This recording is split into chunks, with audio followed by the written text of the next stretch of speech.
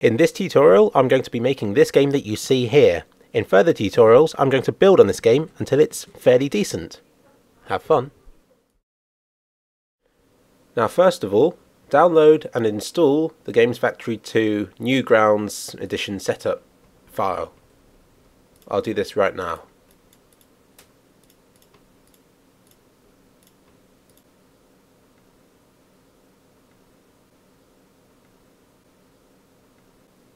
Once it's done, load up the Games Factory 2.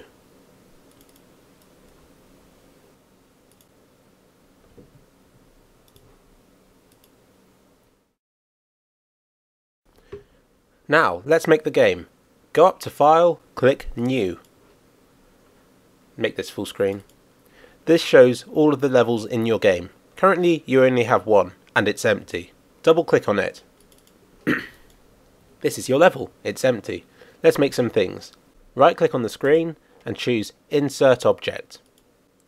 Choose Active. That's all we need at the moment. Now, this one's going to be your character. So double click on it to get this screen up and then just draw it however you want. I'll be going into this in more detail in another tutorial. Click OK when you're happy. That's your character. Now we're going to make the enemy. Right click on the screen insert object, active. Double click on it and make it red because clearly red things are evil. Now we're going to make a bullet. To do that, right click on the screen, insert object, active.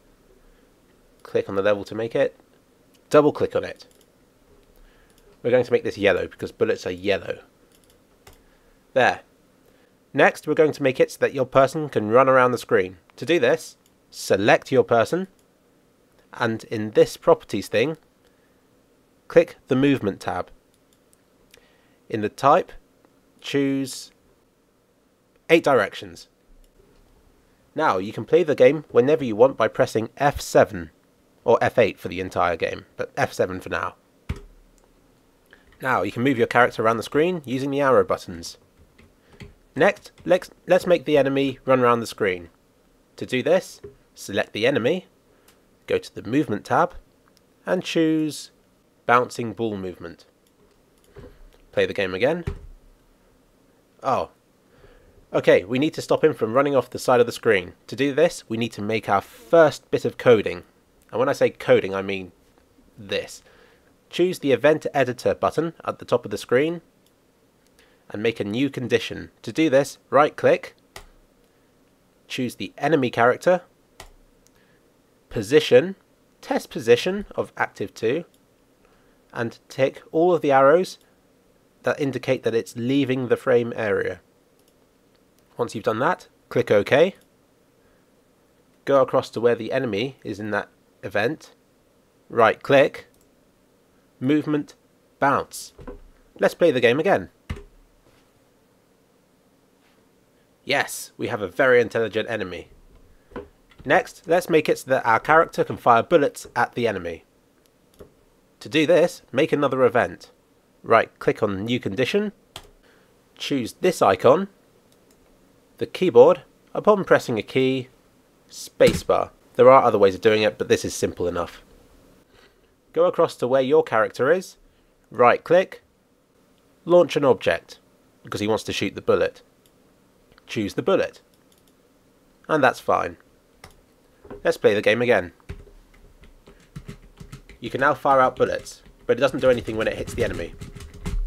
To make it so that it destroys the enemy, we need to make a third event. Right click on New Condition, Bullet, right click on that, Collisions, another object, Enemy, Destroy the enemy. And the bullet. Let's try again. Yeah, you now have your first game. Well done. Let's just add some more enemies in so it's more fun. And delete the bullet because it's no longer needed on this frame since it's already spawned in the events. Ignore everything I just said. Press F7 to play the game. Oh, brilliant! Yeah! Now, should you want to, you, you can now save the game by going up to File, Save As, and calling it something If you want to make it into a format that can be uploaded to Newgrounds, which is the only thing you can do with the Games Factory 2 Newgrounds edition, go up to File, Build, Application, Save. You should now find the file wherever you saved it. You can upload that file to Newgrounds and everyone will play your game. But don't do it, it's really bad at the moment. Wait until the game's better, please. I hope this helps. Watch more tutorials to find out how to make this game into a much better one. Have fun!